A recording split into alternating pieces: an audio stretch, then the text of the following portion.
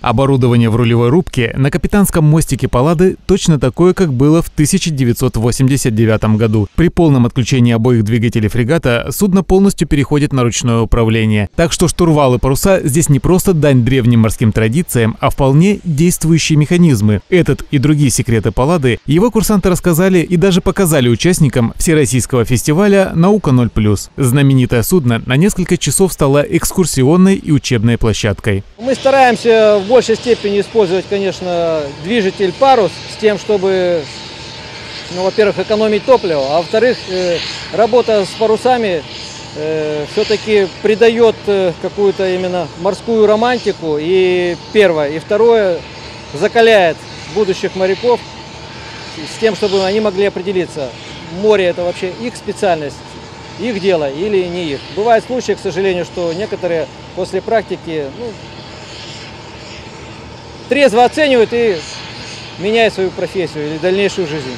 Чтобы поставить все паруса, курсантам нужно всего 40 минут, но работать порой приходится в экстремальных условиях, так что неженкам на палладе места нет, рассказали курсанты своим гостям. Ребята проходят суровые испытания долгими рейсами, разлукой с близкими, штормами, качкой и даже банальной морской болезнью. В первый месяц плавания от нее страдают все новички, и если выдерживают, считают себя настоящими морскими волками. Ночью нас подняли, сыграли тревогу, аврал.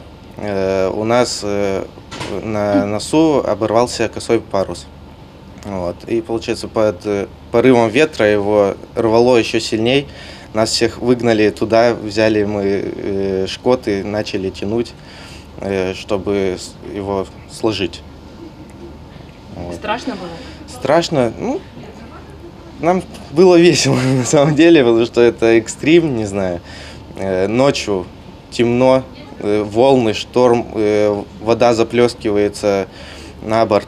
На Палладе участникам фестиваля интересно абсолютно все. Ощущение, что смешались эпохи, появляется, когда проходишь по коридорам красного дерева. В день сегодняшний участников фестиваля «Наука 0+,» возвращают абсолютно современные курсантские каюты. Гости фрегата побывали не только в них, но и в учебной аудитории на верхней палубе, осмотрели снасти, которых на судне почти 8 тысяч километров, рулевую рубку и основные навигационные приборы. Это судно, оно такое громадное, оно просто завораживает. Ты смотришь, это настолько все красиво, все это очень интересно, то есть ты приходишь, видишь все, как оно построено, там всякие узлы, это тебе так захватывает, это так интерес прививает. Ну, в принципе, интересно. Паллада рекордсмен книги рекордов Гиннесса за скорость среди парусных судов своего класса. Интересный факт. Во время кругосветного путешествия в 2007-2008 году судно побило свой же рекорд, но его не оформили официально. Помимо научно-исследовательских и представительских функций, сегодня судно выполнило и просветительскую задачу. Участники